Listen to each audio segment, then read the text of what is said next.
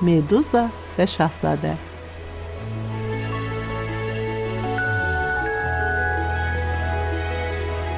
Biri vardı, biri yoxdu, bir padşah vardı. Amma həmin padşah quruda yox, dənizin dibində yaşayırdı. Çünki onun məmləkəti oradaydı. Şahın dünyalar gözəli bir qızı vardı. Şah qızını çox sevər, onu ərköyün saxlardı. Dənizin bütün canlıları hər gün şahzadə üçün nəsə maraqlı, dadlı bir şey axtarıb tapar, gətirib ona verərdilər. Qız da bəzən onları yeyər, bəzən isə bir tərəfə tullayardı. Bir gün bir balina dənizin dibindən çoxlu fındıq yığıb şahzadəyə gətirdi.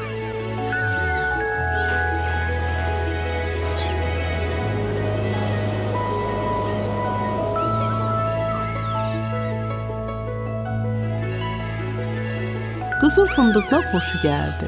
Amma tikanlı idi deyən əlini ala bilmədi. Balina fındıqları arıtlayıb şahzadəyə verdi. Şahzadə də onları ləzzətlə yedi. Birdən fındıqlardan biri padşahın qızının boğazında qaldı. Sən demə fındıq yaxşı arıtlanmamışdı deyə tikanı ilişib qızın boğazında qalmışdı. Yazıq qız az qaldı boğulsun. Nə illah elədilər, fındığı onun boğazından çıxara bilmədilər ki, bilmədilər. Qız isə "Mmm, mmm, mmm" deyə səs çıxarıb elə hey haray çəkirdi. Bir delfin padşaha dedi: Şah sağ olsun, şahzadəni yalnız uzun dimdik leylək xilas eləyə bilər. Necə?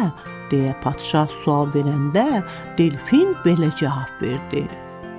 Leyləyin dimdiyi o qədər uzundur ki, o dimdiyi ilə asanlıqla şahzadənin boğazından bu fındığı çıxara bilər. Söz şahzadənin beyninə batdı. Qərara gəldilər ki, kim quruda gəzə bilirsə, onu da göndərsinlər uzun dimdik leyləyin arxasınca. Tapdılar. Meduza Elə onu da göndərdilər.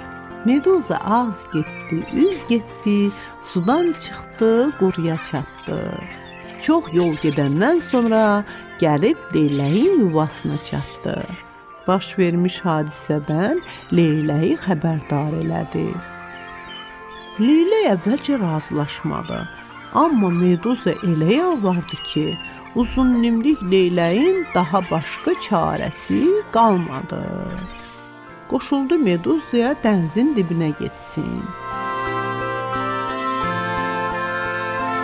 Onlar bir xeyli gedəndən sonra sahilə çatdılar. Əvvəlcə suya Meduza hoppandı. Onun arxasınca da uzun nimdik leylək.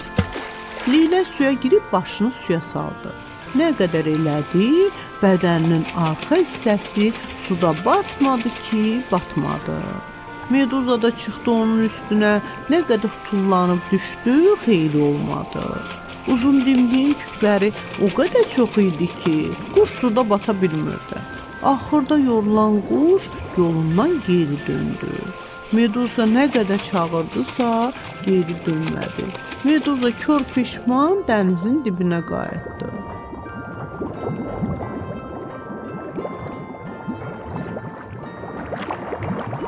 Padşah onu tək görəndə qəzəbləndi. Cəllada əmr elədi.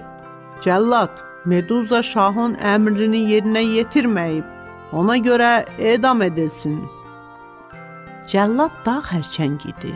Xərçəng Meduzaya yaxınlaşana qədər Meduza qorxusundan baş verənləri bir nəfəsə danışdı.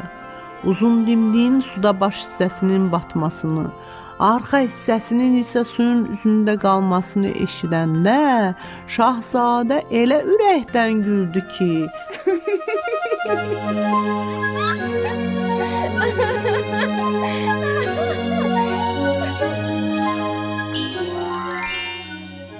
çəkidi və boğazındakı fındıq da qəfil çıxdı. Qızın boğulması keçdi, halı yaxşılaşdı.